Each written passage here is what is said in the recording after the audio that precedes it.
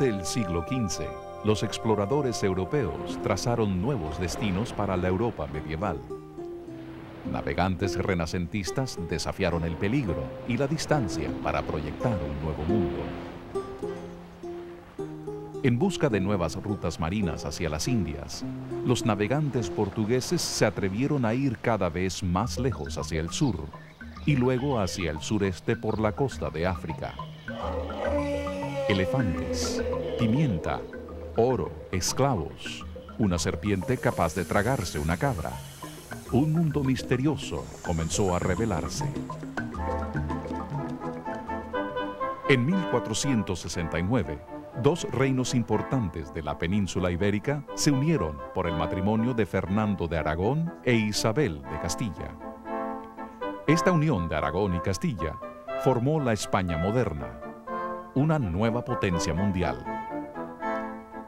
Fue durante su reinado cuando un experimentado navegante y marinero italiano llamado Cristóbal Colón fue a su corte. Colón propuso un viaje en busca de las finas sedas y sabrosas especies de la India, navegando hacia el oeste alrededor del mundo. Fernando e Isabel decidieron respaldar económicamente la expedición de Colón. 1492, tres pequeñas carabelas partieron siguiendo la ruta sureña establecida por los portugueses hasta unos pequeños islotes españoles en la costa africana. De allí, Colón navegó hacia el oeste, aprovechando los vientos atlánticos y las corrientes oceánicas. Después de seis ansiosas semanas sin acontecimientos, desembarcó en tierra. Colón creyó haber llegado a las Indias. Él identificó a la isla más grande que encontró como Japón y describió a los habitantes locales como indios las más cálidas, amistosas y pacíficas personas que él haya conocido. Muy pronto comenzaron muchas expediciones españolas hacia el Nuevo Mundo, siguiendo la ruta de Colón en embarcaciones similares a las que él mismo había usado. Raramente midiendo más de 125 pies de largo, estos barcos incorporaban lo mejor de las tecnologías de la navegación árabe y mediterránea la navegación marítima fue más un arte que una ciencia. En esa época no había instrumentos de precisión. La navegación dependía de la observación continua del sol y las estrellas, y el cálculo experto del viento y la velocidad del barco. A los exploradores y soldados que siguieron a Colón se les conoció como conquistadores. Muchos eran guerreros veteranos, otros eran campesinos, pero todos fueron atraídos por el aliciente de un nuevo mundo. Sus motivos, tal y como los describió un conquistador, eran para servir a Dios y su majestad, para darle luz a aquellos que han estado en la oscuridad y para hacerse tan rico como cada hombre quisiese hacerlo. Los primeros exploradores vinieron en busca de riquezas instantáneas. Oro, metales preciosos, gemas y esclavos.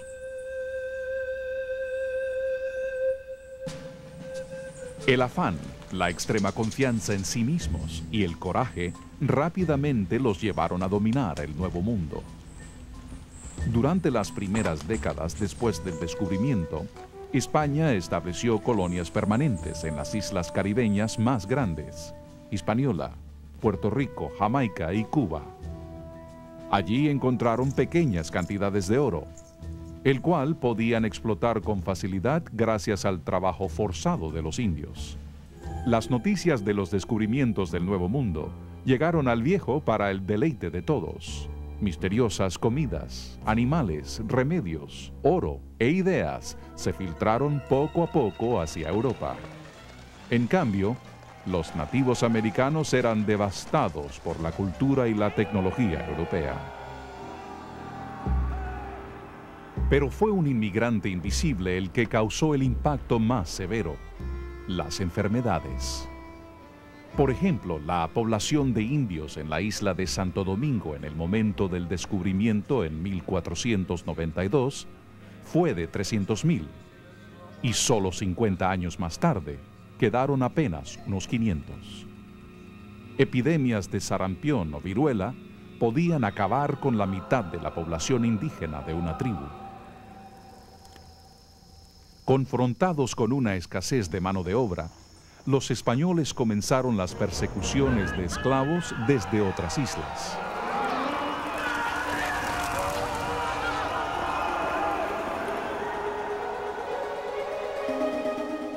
Observando el volumen de aguas dulces provenientes de las bocas de algunos ríos, los exploradores deducieron que éstas podrían ser los límites de unas vastas extensiones de tierra, los continentes. Las islas caribeñas se convirtieron en el punto de partida para la siguiente etapa de la conquista. Caballos, cerdos, perros, ovejas, la base económica europea, fueron criados en grandes cantidades. El caballo fue una poderosa ventaja española. En una topografía adecuada para ello, una caballería bien disciplinada podía ejecutar ataques violentos. Pedro Castañeda, un historiador de la expedición de Coronado, escribió, Después de Dios, nosotros le debemos la victoria al caballo. La movilidad y la impresión de un hombre cabalgando a caballo fue el factor decisivo de muchos encuentros. La disciplinada infantería española apuñaló y acuchilló con sus filosas hojas de acero hechas con metal de Damasco. Las espadas y la pólvora españolas rápidamente dominaron a las armas de los indios.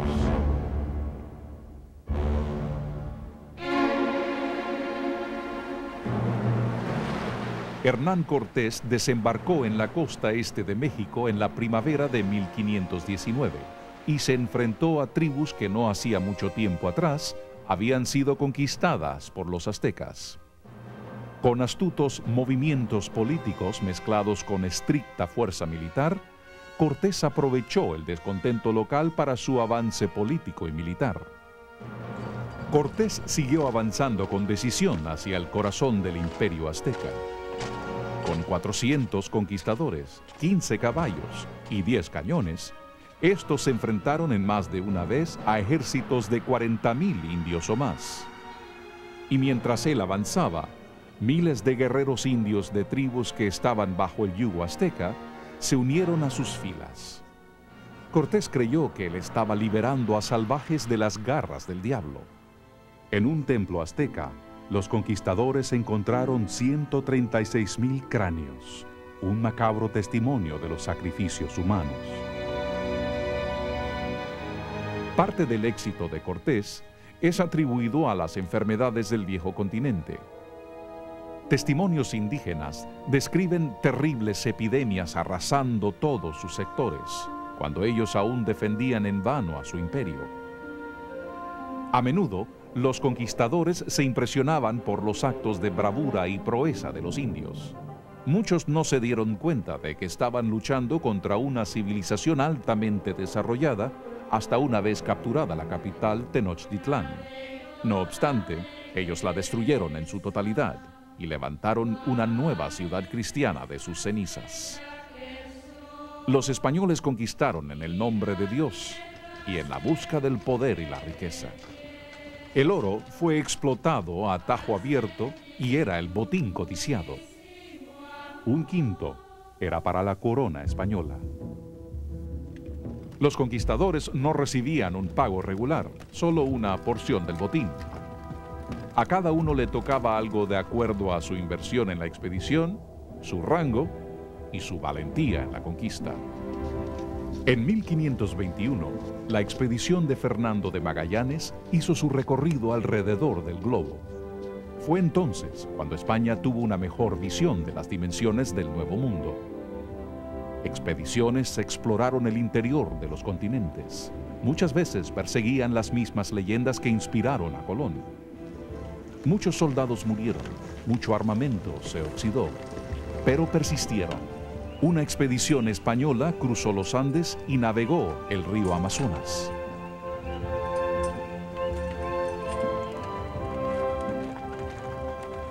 El gran inexplorado continente hacia el norte generó historias de salvajes, pero también noticias de civilizaciones muy ricas.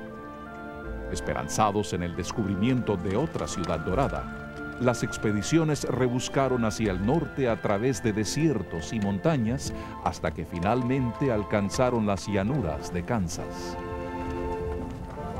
Muchas expediciones desembarcaron en Florida y tomaron rumbo al norte, donde se enfrentaron a las montañas Apalaches. Los españoles también exploraron la costa oeste desde California hasta Alaska. Los españoles encontraron diferentes culturas a lo largo del camino. Muchas de estas fueron totalmente destruidas.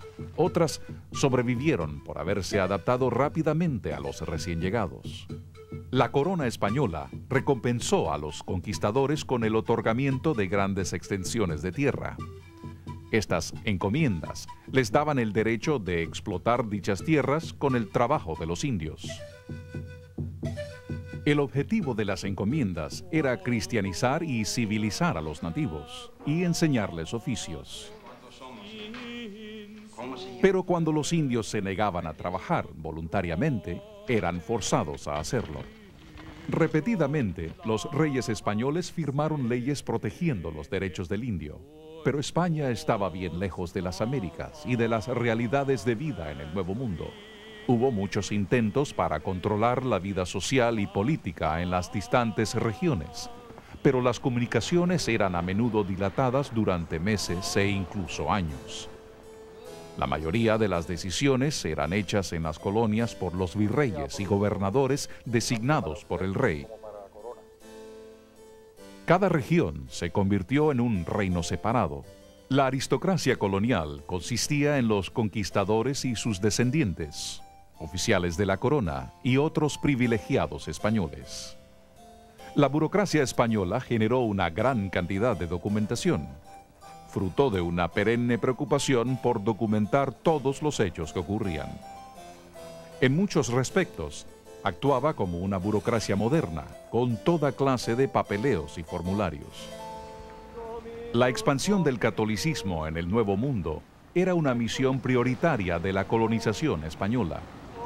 Cada expedición y ejército contenía un contingente de religiosos, para ofrecer una fiel conversión de los nuevos espíritus hacia la gran gloria de Dios. La Iglesia Católica vio al Nuevo Mundo como un paraíso para la creación de una iglesia libre de corrupción. A veces, esta meta altruista era usada para justificar terribles injusticias, pero también podía salvar a los indios de los abusos de un conquistador cruel. Algunas órdenes religiosas enviaron frailes desarmados hacia regiones interiores, y ellos muchas veces triunfaron en la creación de comunidades que protegían las tribus locales de las devastadoras fuerzas que estaban arrasando el continente. Para predicar, los frailes aprendían las lenguas nativas, produciendo con ellos grandes obras etnológicas que todavía hoy son las fuentes más importantes acerca de esas culturas. La Iglesia Católica surgió como el mayor de los terratenientes de Hispanoamérica, con una gran inversión en edificaciones, granjas, ganadería, molinos y minas. España no pudo quedarse con el Nuevo Mundo para ella sola. A mediados del siglo XVI, particulares de otras naciones europeas comenzaron a poner el ojo en los barcos de tesoro españoles. Los frecuentes ataques de Francis Drake a barcos y puertos españoles causaron que por generaciones de niños españoles se le conociera como el terrible duende.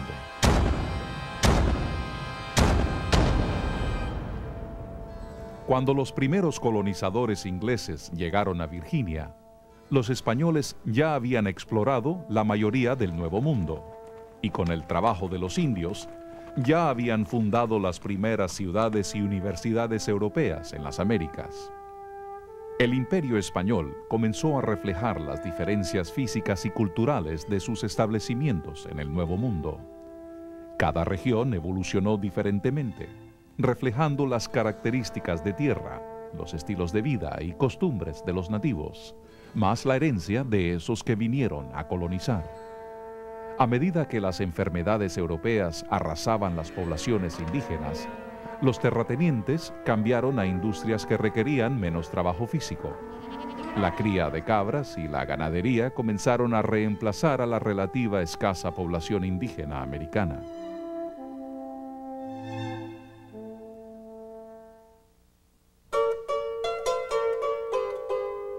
Como otras potencias europeas en el Nuevo Mundo, los españoles comenzaron a importar esclavos negros de África.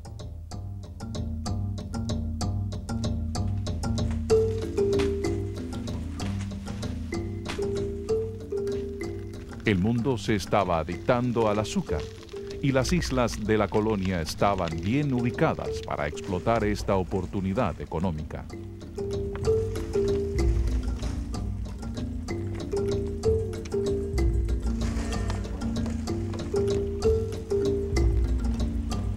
El azúcar y el café se convirtieron en la mayor fuente de ingreso para las colonias. Mientras que muchas de las regiones se convirtieron en verdaderos crisoles de razas y culturas, el orden social fue mantenido y los cambios fueron lentos. Las posiciones sociales más importantes eran reservadas para los blancos nacidos en España. El siguiente peldaño social era para los blancos nacidos en el Nuevo Mundo, criollos, hasta descender a las mezclas de blancos, indios y negros. El imperio español se extendió desde la Tierra del Fuego, en el cono sur de Sudamérica, hasta las costas de California y Florida, uno de los más grandes imperios que haya existido. La cultura española, idioma, gobierno y religión fueron trasplantadas a una región 20 veces más grande que el tamaño de España. A lo largo de sus vastas fronteras, el imperio español tuvo que edificar fuertes y misiones para defenderse de incursiones por parte de los ingleses, franceses, alemanes y rusos. La vida solitaria en estos remotos fortines comenzó con una nueva cultura, reflejando la síntesis del viejo y del nuevo mundo.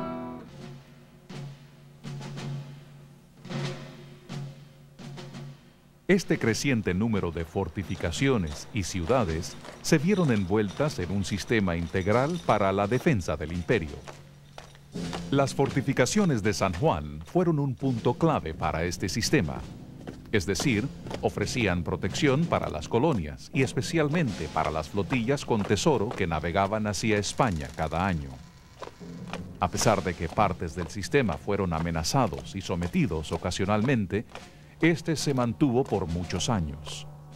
Muchas de estas fortificaciones reflejan más de 400 años de crecimiento y evolución.